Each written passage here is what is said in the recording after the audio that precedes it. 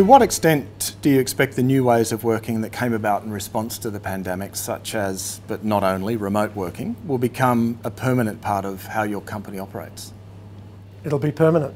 I don't see anyone coming back to the office five days a week, uh, certainly not those that I've spoken to. And it varies slightly by region. I think certainly in the Australian business, we can expect people to bookend their week and potentially come in Tuesday, Wednesday, Thursday, but choose to work from home on Mondays and Fridays. In other parts of the region, it's a little different in places where people don't necessarily enjoy uh, the luxuries of real estate like we would living in Australia. They would choose to come into the office potentially five days a week. Uh, although even then be far more selective about when during the day they come in. So they'll adjust commute times.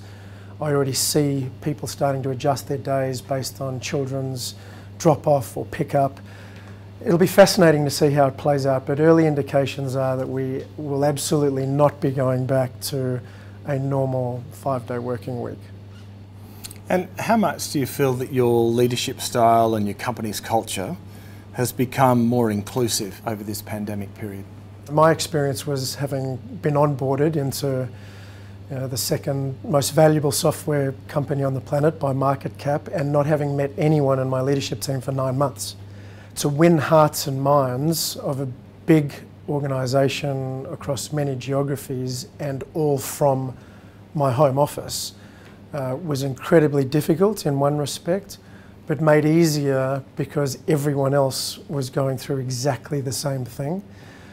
And so what we had to do is develop trust instantly, where normally you would operate on the basis of trust being earned over three, six, nine, 12 months.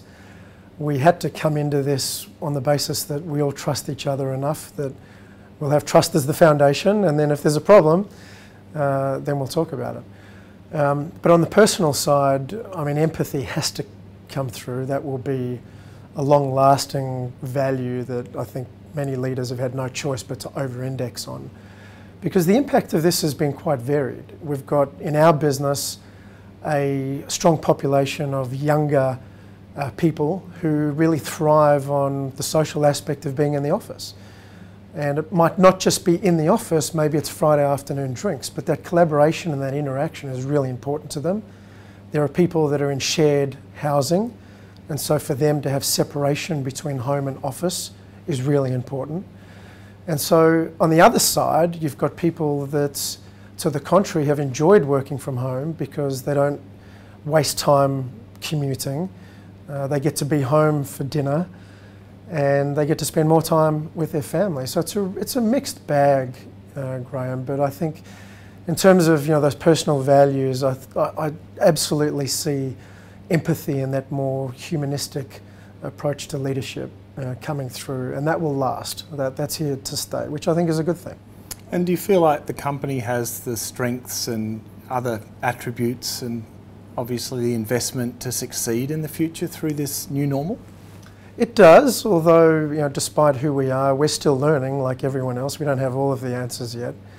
Uh, but we certainly have strength in our business model and flexibility in our business model such that working from home didn't dent productivity. Um, but remember, this is only 12 months of history.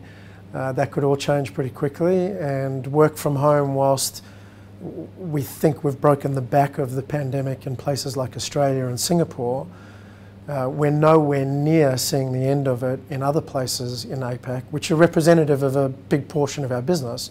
You know, places like India, for example, that are in a world of pain still.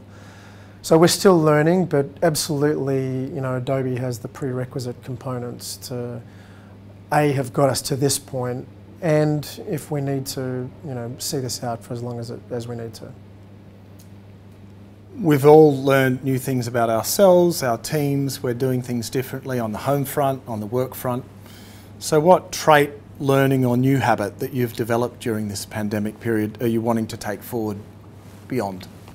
Well, it'll come as no surprise because I think every leader is aligned to this, and that is uh, video call fatigue.